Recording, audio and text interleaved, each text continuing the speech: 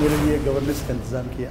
लेकिन वो राइटर उस ड्रामे की थी बजिया फातमा सरैया बजिया लेकिन वो चूँकि हमारे मज़हब से उसका ताल्लुक ही नहीं था तो मुझे मजहबी तालीम नहीं मिल पाई।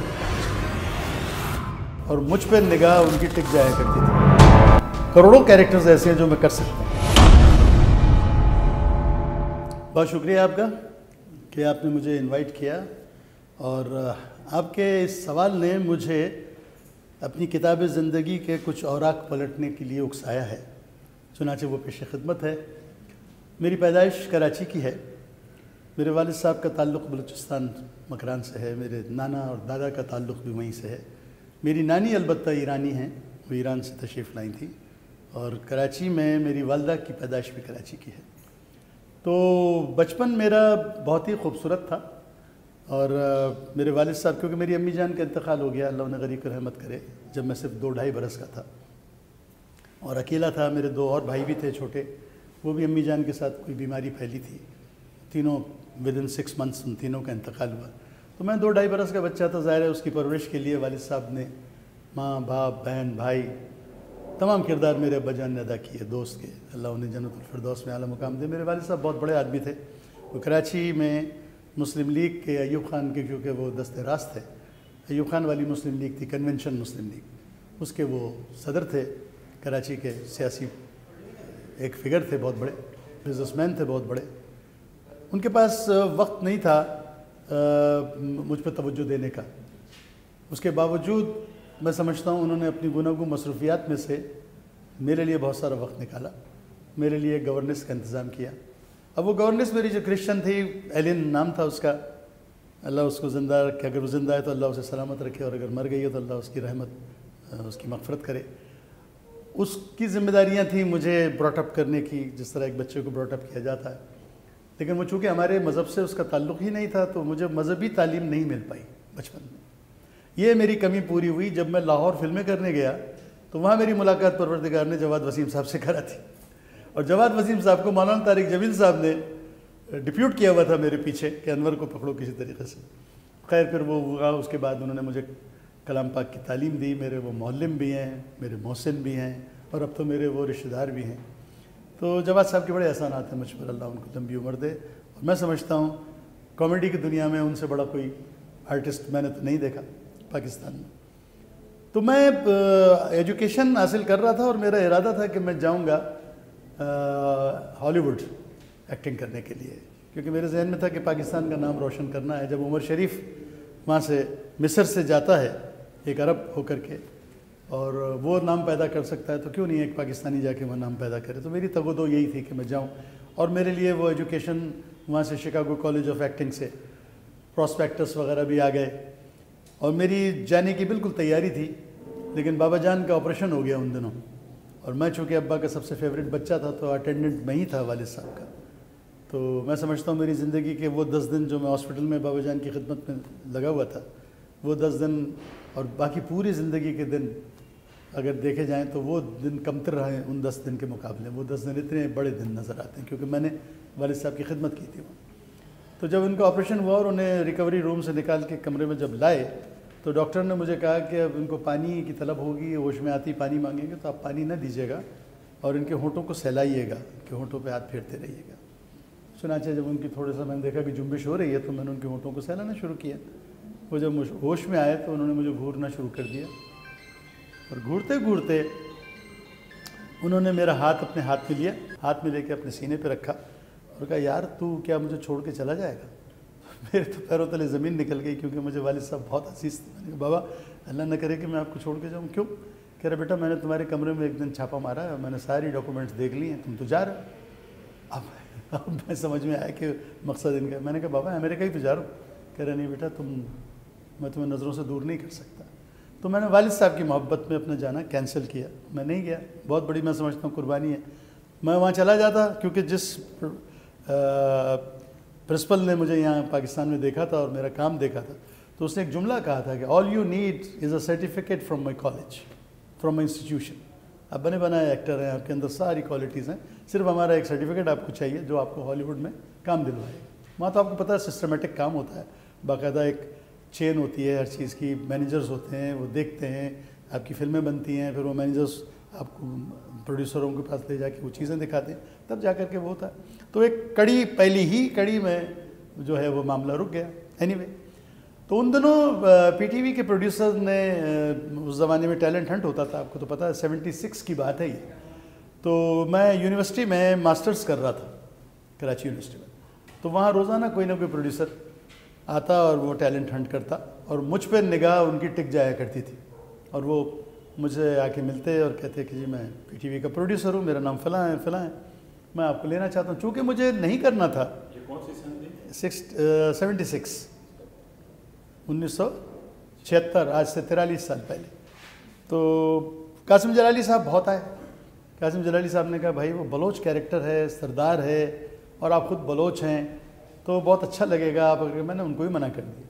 लेकिन वो राइटर उस ड्रामे की थी बजिया फातमा सुरैया बजिया। अब बजिया से जब जलाली ने मेरे बारे में कहा तो बजिया ने कहा तुम उनका नंबर दो मैं कॉल करता बजिया ने कॉल कर दिया, कार्ड मेरा जो कासिम के पास था तो वो दफ्तर का कार्ड था। और सबसे ऊपर जो नंबर था, वो मेरे बाबा जान के कमरे का नंबर था, डायरेक्ट। तो बजिया ने उसको ऑपरेटर से कहा होगा भाई ये नंबर मिला ये तो उन्होंने मिला दिया, वहाँ अब्बा ने उठा लिया। बजिया ने अपना तारुफ कराया कि मैं फातमा सुरैया बजिया हूँ, पीटीवी से बोल रही हूँ, मुझे अनवर से बात करनी है। अब्बा जान ने बैल बजा के चपरासी से कहा कि, अनवर को बुलाओ, मैं आ गया। कहा, लो भाई, ये क्या है ये? टीवी कौन है भाई? लो। मैंने फ़ोन लिया मैं थर थर काँप रहा था वालिद के सामने, कि ये तुमको पता चल रहा है। बजिया ने कहा, बेटा, हम चाहते हैं कि तुम आओ, हम सिर्फ़ तुम्हें देखना चाहते हैं। जलाली ने तुम्हारी बहुत तारीफ़ की है। तुम भले हमारा ड्रामा मत करो, कोई बात लेकिन तुम आओ तो सही। मैं गाड़ी भेज रही हूँ, तुम आ जाओ। मैंने कहा, गाड़ी मत भेजिए, मैं खुद आ जाऊँ। पक्का वादा? मैंने कहा, जी, वादा। फ़ोन मैंने बंद कर दिया। अब मैंने हाँ भाई, क्या मसला है? ये क्या, कहाँ जा रहे हो तुम? ये क्या कर रहे हो? तो मैंने कहा, बाबा, मैं बस नहीं जाऊँगा। कह रहे, नहीं। अब्बा ने कहा, नहीं। वादा किया है तुमने, ज़रूर जाओ।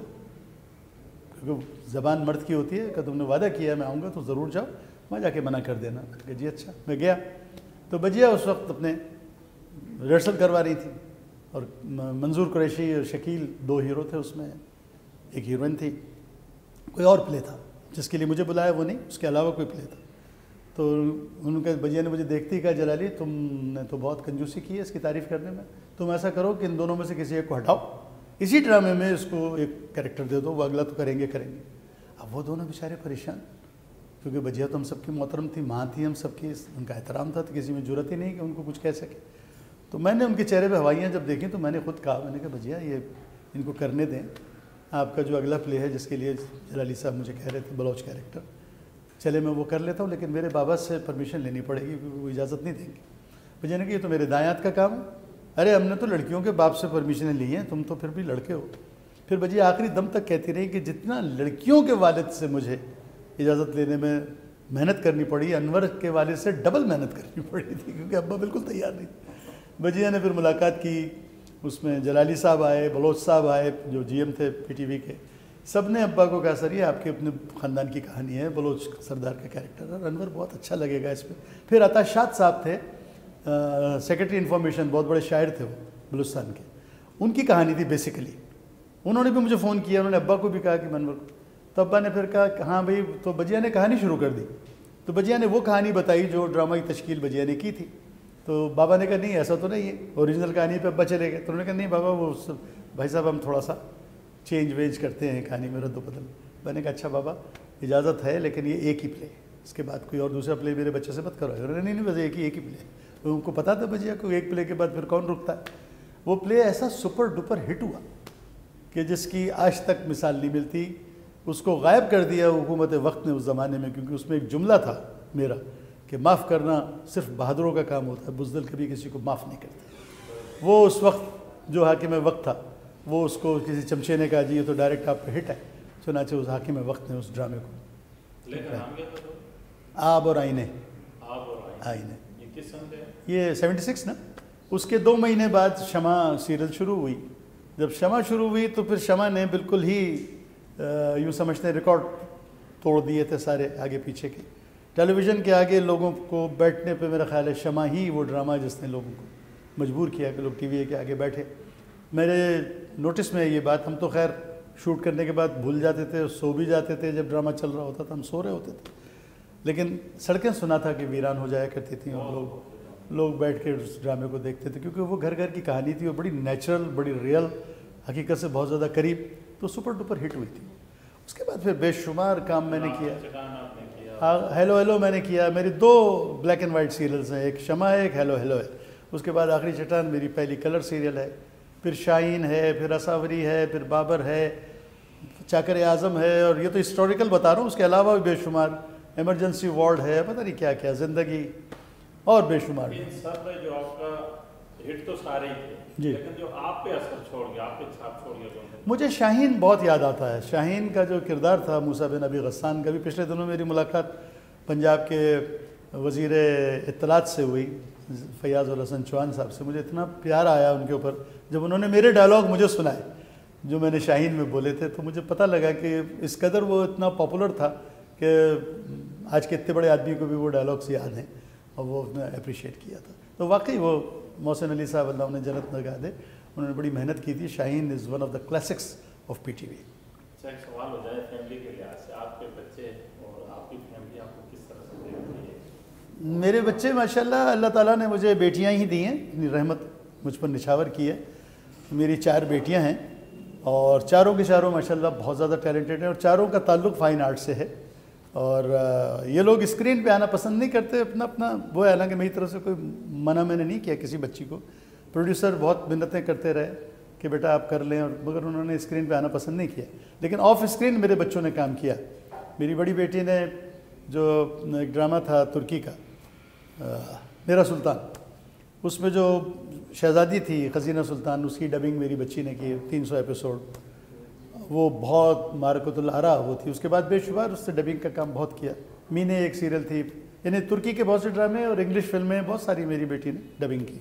ब्रेव ब्रेव हार्ट थी वो। तो उसके बाद दूसरे नंबर पे जो मेरी बेटी है, वो क्रिएटिव हेड है, एक एडवर्टाइजिंग कंपनी की इवेंट मैनेजमेंट्स करती रहती है। बड़े बड़े उसने इवेंट्स किए हुए हैं। अभी वो तुर्की जा रही है, एक इवेंट वहाँ है वो करने के लिए। उसके बाद तीसरे नंबर पे मेरी बेटी है, वो लाहौर में फ़ैशन डिज़ाइनिंग उसने की है F I P I F D से टॉप किया वहाँ पर। उसने कमाल ये किया कि एन एन एस सी वहाँ का सबसे बड़ा आर्ट कॉलेज है लाहौर का। वहाँ के स्टूडेंट्स को उसने कोच किया और एन सी ए और उन बच्चों ने टॉप किया। नेशनल कॉलेज ऑफ़ वक्त बहुत मकाम तो पिछले दिनों मैं लाहौर में था तो प्रिंसिपल साहब ने मुझे बुलाया था चाय पर। मैं गया तो उसने बहुत अप्रिशिएट किया मेरी बच्ची को और उसे दावत दी कि आप क्यों नहीं ज्वाइन करती हैं एन को। इस वक्त वो एक बहुत बड़ी मैगजीन है फ़ैशन की उसकी वो सब एडिटर है। उस वक्त वो कर रही हैं और अपना उन्होंने फ़ैशन डिज़ाइनिंग का अपना स्टूडियो बनाया हुआ, चीज़ें बना रही है। यानी मट्टी से टेक्सटाइल बनाया उसने, मेरी बेटी ने, मट्टी से, रेत से टेक्सटाइल। और उस टेक्सटाइल से जूते पर्स, पैंट, कोट, ये, वो, हर चीज़। फिर एक और टेक्सटाइल उसने बनाया जिसमें फूल, खिले हुए फूल होते हैं। आप फ़ंक्शन अटेंड करके जब वापस आएँ, वो फूल ज़ाहिर मुरझा जाएँगे। रख दें उसके किसी खास टेम्परेचर में, सुबह दोबारा उसको पता नहीं कौन सा ट्रीटमेंट वो देती है वो फूल फिर से वो उगाते हैं। तो ये इसने इतना बड़ा काम किया पेरिस गई थी। तो पेरिस के जो डिज़ाइनर्स थे उन्होंने कहा why don't you stay here आप तो यहीं रहे तो अल्लाह उसको कामयाब करे उस बेचारी में ये जुनून है वो काम कर रही है। चौथे नंबर पे जो मेरी बेटी है वो ए लेवल कर रही है बीकन हाउस से।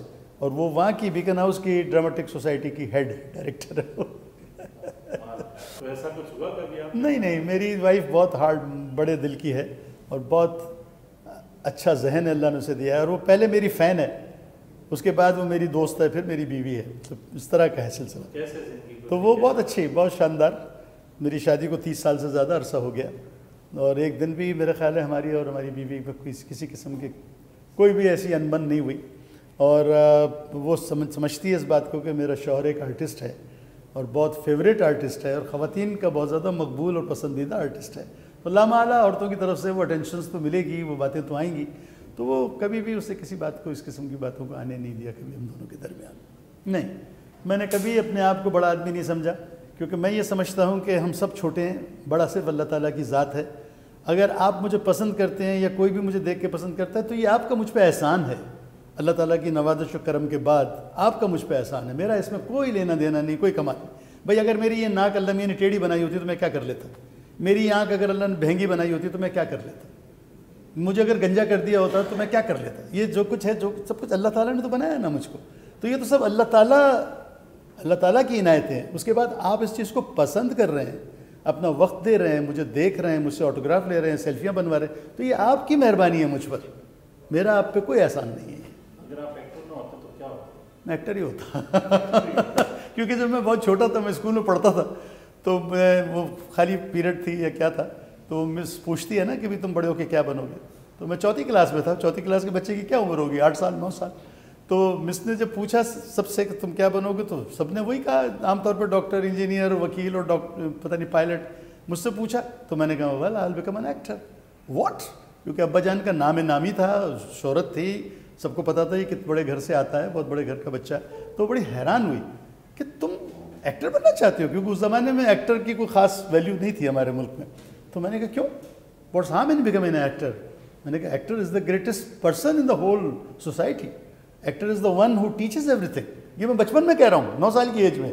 तो मैंने कहा मैं तो एक्टर ही बनूँगा। मुझे मुझे सोसाइटी को टीच करना है। जो अल्लाह ने मुझे सलाहियतें दी हैं उसको मैं इस्तेमाल करके लोगों को टीच करना चाहता हूँ. अच्छा आपका बेसिक एजुकेशन या किस एरिया में आप कहाँ से क्या मेरी पैदाइश पैदाइश मेरी लियारी की है। मैं बलोच हूँ और बलोच हूँ। कराची का जो रियल कराची है, वो लियारी है। कराची जब पाकिस्तान बना था तो सिर्फ़ लियारी तक महदूद था। कई छोटे मोटे और इलाके थे। स्कूल सा स्कूल सदर और कॉलेज मेरा सेंट पैट्रिक और कराची यूनिवर्सिटी, ये मेरा तालीमी शोबे मेरे। एक्टिंग में मेरे रोल मॉडल दिलीप कुमार साहब हैं। मैं जब बच्चा था तो मेरी पहली फ़िल्म जो मैंने देखी थी, ज़िंदगी में, वो एक इंग्लिश फ़िल्म थी। सबरीना नाम था उसका। उसमें ऑड्री अपबर्न विलियम हॉल्डन और तीसरे एक्टर बहुत बड़े एक्टर थे, वो उनका नाम याद नहीं आ रहा मुझे। तो वो फ़िल्म देख के मैं, मुझे पता चला कि फ़िल्म क्या होती है। शायद मैं चार पाँच बरस का फिर जो मैंने फ़िल्म देखी, वो थी दाग, दिलीप कुमार साहब की। उस वक्त मैं शायद सात बरस का हूँगा। वो देख करके मेरे जहन में नक्श हो गया और मैंने फैसला कर लिया कि मैंने यही काम करना है। दिलीप साहब की अदाकारी ने मुझे इतना मुतासर किया कि वो मेरे स्पिरिचुअल फादर बन गए, रूहानी बाप और मेरे टीचर बन गए। तो मेरा स्कूल ऑफ़ थॉट जो है वो हॉलीवुड है, और अदाकारों में अगर मुझे सब में ज़्यादा पसंद आया तो दिलीप कुमार साहब पसंद है। वैसे तो बहुत सारे देवानंद भी थे, राज कपूर भी थे, अशोक कुमार भी थे फरहान साहब भी थे, बलराज सानी साहब भी थे, ये भी बहुत इंडिया के बहुत अच्छे, हमारे संतोष कुमार थे, मोहम्मद अली साहब थे, वहीद मुराद, नदीम साहब, ये सब बहुत अच्छे एक्टर हैं। लेकिन टॉप पे जो मैं समझता हूँ वो दिलीप कुमार साहब हैं। हॉलीवुड में मेरे जो आइडियल्स थे, वो Marlon Brando Charlton Heston Gregory Peck, Anthony Quinn ये सब मुझे पसंद थे और इनकी परफॉर्मेंस से मैं बहुत कुछ सीखता था। मैं बहुत अच्छा मैं, क्योंकि मैं तो सिवाय शुक्र अदा करने और कुछ कर ही नहीं सकता हूँ, नहीं तो अल्लाह, मैंने पहले ही बता दिया, ये सब कुछ अल्लाह ताला की इनायत है और कुछ भी नहीं है। इसमें मेरा अपना कुछ, मैं खुद हैरान होता हूँ, मेरे दोस्त साथी अगर किसी बात पे एटीट्यूड दिखाते हैं तो भाई तुम किस बात पे एटीट्यूड दिखा रहे? तुम्हारा इसमें कंट्रीब्यूशन है क्या? क्या तुमने अपनी शख्सियत खुद बनाई है? क्या तुमने अपने आप को खुद पैदा किया है? नहीं ना? और जो तुम्हारे, जो तुम्हें देख रहे हैं, पसंद कर रहे हैं तो क्या तुमने तुमने ऐसा कुछ काम कुछ भी नहीं। मुझे जो भी मिल जाए, मैं बिस्मिल्लाह करके खा लेता हूँ। इबादत के बाद मेरा दूसरा शौक़ मौसीकी है। इबादत से फारिग होने के बाद मैं चाहता हूँ कि एंटरटेनमेंट अगर मैं एंटरटेन होना चाहता हूँ तो मौसीकी सुनता हूँ। बहुत अच्छे अच्छे, जितने भी अच्छे सिंगर्स हैं, बड़े सिंगर्स हैं, मैडम नूरजा मुझे बहुत पसंद, मेहदी हसन साहब मुझे बहुत पसंद, लता मुझे बहुत पसंद, मन्ना डे मुझे बहुत पसंद। इनके, मैं पुराने, नए, हर तरह के इनके सॉन्ग्स जो होते हैं वो मैं सुनता रहता हूँ जब मेरा दिल करे। बहुत कम। एक तो टाइम नहीं मिलता, पहली बात। फिर कोई ऐसी ख़ास फ़िल्में मेरा ख्याल है आई एम वेरी सॉरी बेचारे बना रहे हैं, कोशिश तो कर रहे हैं। कोई दस फ़िल्मों के बाद कोई सुना है कि एक अच्छी फ़िल्म आती है। वो भी अच्छी फ़िल्म मैं नहीं देख पाता, वो उतर जाती है। तो एक ज़माना था, जब हम लड़के थे तो सारा दिन हमारी फ़िल्में देखने में गुजरता था। कोई ऐसा काम जो ज़िंदगी में पछतावा रह करना चाहिए? ऐसे तो बेशुमार काम है, क्योंकि अभी तो मेरा, मैं समझता हूँ मेरा यूटिलाइजेशन हुआ ही नहीं। अगर मुझे आप सौ परसेंट कहेंगे इसमें से कितना परसेंटेज मैंने काम किया तो मैं समझता हूँ फाइव परसेंट भी नहीं किया मैंने। मेरे अंदर जितनी सलाहियतें परवरदिगार आलम ने डाली है, मुझे पता है उसका। अभी तक लोगों को पता नहीं है। वो अभी तक उन्होंने, लोगों ने उनको यूटिलाइज ही नहीं किया। मुझे वो काम दिया ही नहीं जो मैं कर सकता हूँ। मुझे महदूद करके रख दिया गया है। जो चार पाँच कैरेक्टर्स हैं जो उसमें मुझे महदूद कर दिया मैं तो करोड़ों कैरेक्टर्स ऐसे हैं जो मैं कर सकता हूँ। देखे तो देखो पहले तो। तो ये मेरा चैलेंज है कि आप मुझे कोई कैरेक्टर दें, फिर मैं बताता हूँ आपको कि अनवर इकबाल कौन है, क्या कर सकते शहर मुझे कराची, चूँकि मेरी मेरी पैदाइश यही है, मेरा लड़कपन यहीं गुजरा तो ऐसी जगह बंदे को ज़्यादा पसंद है। मैं इंग्लैंड में भी आना कि लंदन मुझे बहुत पसंद है। मगर लंदन भी मैं दो हफ़्ते के बाद अपने प्यारे कराची को बहुत मिस करता हूँ। सारे अच्छे मतलब जो अच्छे हैं बेचारे, वो मुझे बहुत पसंद है। जितने भी अच्छे लोग हैं, मैं कभी भी, मैंने किसी को बुरा समझा ही नहीं अपनी ज़िंदगी में कभी, और मैंने नफ़रत तो की ही नहीं किसी से भी। किसी ने अगर अपने आप को साबित भी किया कि वो काबिल नफ़रत है, तब भी मैंने उसके साथ नफ़रत नहीं की। उसके लिए आग में मैंने दुआ मांगी कि अल्लाह ताला इसको हिदायत दे और ये अपनी गलत हरकत से बाहर जाकर काम के लिए तो जाऊँगा, ज़रूर जाऊँगा, हमेशा से मेरी ख्वाहिश थी, रहेगी, लेकिन पाकिस्तान छोड़ने के लिए मैं कभी भी अपने जहन को तैयार नहीं कर सकता, क्योंकि ये मेरा वतन है, मुझे अपनी माँ से ज़्यादा अपना वतन अज़ीज़ है, और मैं अपने वतन को कभी भी छोड़ के नहीं जाऊँ हमेशा ये याद रखिएगा कि जितने भी इंसान इस दुनिया में परवरदिगार ने भेजे हैं, उन सब का कोई ना कोई. चींटी तक को अल्लाह ने बेमकसद पैदा नहीं किया, मच्छर तक को अल्लाह ने बेमकसद पैदा नहीं किया, कोई ना कोई उसका मकसद ज़रूर है तो आप तो अशरफुल हैं आपका भी यकीनन कोई मकसद तो होगा ना, उस मकसद को तलाश करें। उस मकसद को तलाश करके उस मकसद पे जो अल्लाह ताला जिसकी वजह से आपको भेजा, उसे पूरा करने की कोशिश करें। आपका आना, आपका खाना, पीना, शादी करना, बच्चे पैदा करना, ये नहीं है, ये तो जानवर भी करते हैं। इंसान अगर हैं तो फिर वो काम करें जो इंसान के लिए अल्लाह ने तख्लीक करते वक्त एक हुक्म दिया था कि तुम क्या करोगे? तुम नेकी नेकी की तरबियत दोगे, बुराइयों से लोगों को रोकोगे, खुद भी नेक बनोगे, दूसरों को भी नेकी पर लाओगे। इसीलिए अम्बिया कराम एक सौ एक लाख चवालीस, चौबीस हज़ार पैगंबर आए। और नबी आखिर सल्लल्लाहु अलैहि वसल्लम अल्लाह के सबसे महबूब बंदे। और हमारे पे अल्लाह ताला की इतनी मेहरबानियाँ हैं, हमें अल्लाह इतना प्यार करते हैं कि हमें अपने महबूब की उम्मत में डाल दिया। हमें ईसाई भी तो पैदा कर सकते थे ना, यहूदी पैदा कर सकते, क्यों नहीं किया? हमें मुसलमान इसलिए पैदा किया कि अल्लाह को हमसे मोहब्बत है। अल्लाह नहीं चाहते कि हम में से कोई भी, न सिर्फ़ हम, बल्कि जो भी गैर मुस्लिम भी, उनमें भी अल्लाह नहीं चाहते किसी को दो सौ पर डालना। सिर्फ़ अमाल की बुनियाद पर फैसले होंगे। आप जिस तरह ज़िंदगी गुजारते हैं, उस पर फैसला होगा। आपके बोलने से या आपके दिखावे से नहीं जाएगा। जो आपकी नीयत है, जो आपका दिल है, उस पर अल्लाह आपको सिला देंगे। मेरा ये मैसेज है कि आप बहुत इंपॉर्टेंट हैं। कीमती तरीन हैं आप। आप अपने आप को कमतर बिल्कुल न समझें। किसी भी उनवान से, किसी भी, आप दुनिया के किसी भी शख्स से कम हरगिज़ हरगिज़ नहीं है। अगर आप उनसे अच्छे नहीं हैं तो उनसे कम भी नहीं आप उनके बराबर हो सकते हैं। तो वाई नॉट आप क्यों नहीं कोशिश करते? क्यों नहीं अपने मुल्क का नाम रोशन करने के लिए अपना हिस्सा डालना चाहते? अबाबील कितना छोटा सा परिंदा है। जब हज़रत मूसा को जलाया जा रहा था, उसमें हज़रत इब्राहिम को जब आग में जलाया जा रहा था नमरूद में तो वो अपने चोंच में चोंच में कितना पानी आएगा? एक कतरा। वो पानी लेके दौड़ी जा रही थी तो बाकियों ने पूछा, तुम कहाँ जा रही हो? कहले मैं जा रही हूँ उस आतिश नमरूद को बुझाने, जिसमें अल्लाह के दोस्त को जलाया जा रहा है। तो उन्होंने कहा कि, यार, पागल हो गई हो तुम। तुम्हारे चोंच में पानी ही कितना है जो इस, इतने बड़े आग को बुझाए? कहले मैं जानती हूँ कि मेरी चोंच का पानी इस आग को नहीं बुझा सकेगा। लेकिन मैं रोज़ ऐशर जब अल्लाह मुझसे पूछेंगे कि जब मेरे दोस्त को जलाया जा रहा था तो तूने क्या किया था? तो कम से कम मैं ये तो कह सकूँगी कि मैंने अपना फ़र्ज़ पूरा किया था। तो भाई, ये तो एक मामूली परिंदे की सोच है। आप तो अशरफुल मखलूक़ात हैं, आप क्या नहीं कर सकते? आप सिर्फ़ ये फ़ैसला कर लें कि मैंने अपना हिस्सा डालना है। तो आप देखिएगा, आपके कतरा कतरा समंदर होता है। कौम को मैं ये मैसेज दूँगा कि ये बहुत प्यारा वतन है कि इसकी आज़ादी हमें किसी ने ट्रे में सजा कर चांदी का वर्का लगा के पेश नहीं किया था। इसको हासिल करने के लिए हमारे असलाफ ने बड़ी बड़ी कुर्बानियाँ दी थी। हमारे बुज़ुर्गों ने बहुत कुर्बानियाँ दी। कई माएँ बेचारी जो थीं, वो बे औलाद हो गई। कई औरतों के सुहाग उजड़ गए। कई बहनें अपने भाइयों से बिछड़ गई, कई भाई अपने भाइयों से बिछड़ गए, कई औलाद अपने वालदेन से बिछड़ गए। तब जा कर के ये ख़त्ता हमें मिला है, जिसमें हमने अल्लाह के अहकाम अपने नबी पाक सल्लल्लाहु अलैहि वसल्लम के बताए हुए तरीक़ों पर चलाना है इस मुल्क को। तो हमें उसी पर इस मुल्क को चलाना है, हमें मुतहद होना है, हमें सिर्फ़ और सिर्फ़ मुसलमान और पाकिस्तानी बन कर के यकमुश्त होना है। दुनिया की कोई ताकत हमें तस्वीर नहीं कर सकती, ये मेरा दावा है।